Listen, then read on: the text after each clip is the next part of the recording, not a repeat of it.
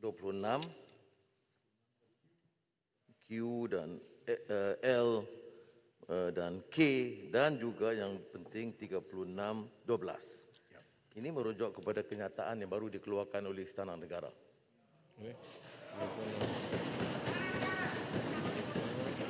Derhaka, derhaka.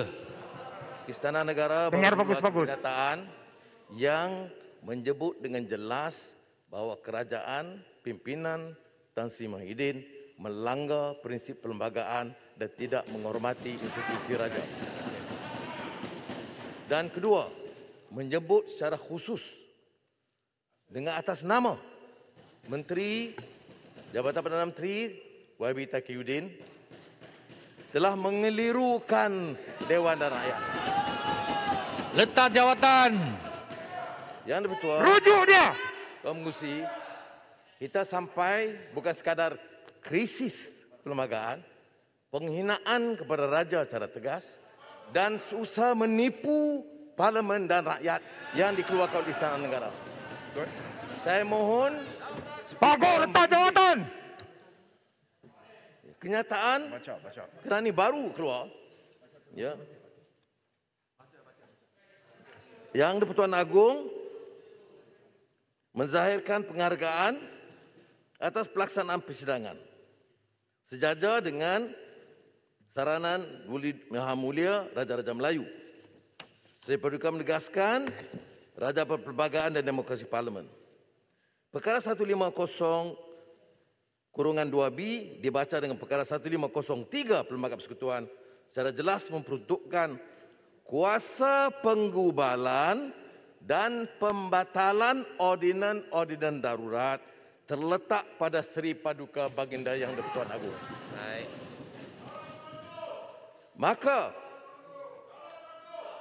Seri Paduka Baginda Yang di-Pertuan Agong menzahirkan rasa amat duka cita dengan kenyataan dibuat di Parlimen pada 26 Julai iaitu kerajaan telah membatalkan semua ordinan yang dimasyurkan oleh baginda walhal pembatalan belum lagi diperkenankan baginda Pertuan Agong.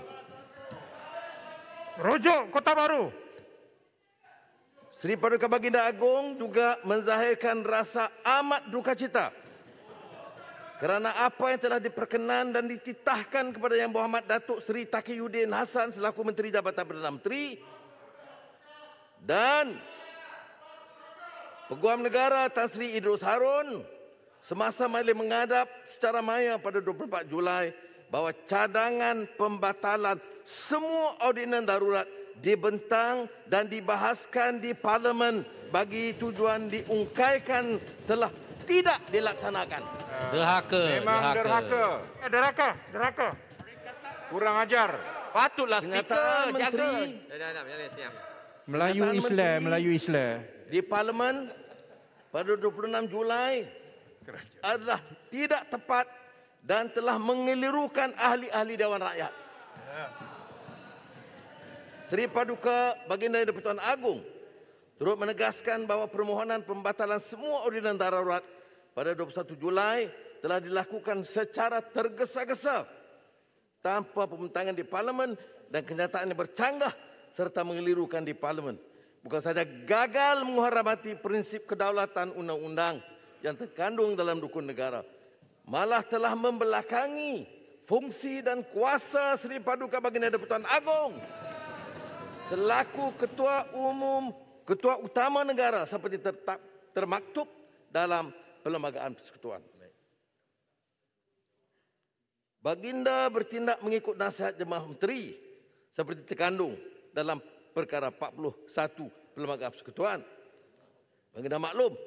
Namun, Seri Paduka Baginda Yang Tuan Agung menzahirkan pandangan bahawa Baginda selaku Ketua Utama Negara mempunyai kewajipan untuk menyampaikan nasihat dan teguran jika berlaku sebarang tindakan yang tidak berperlembagaan.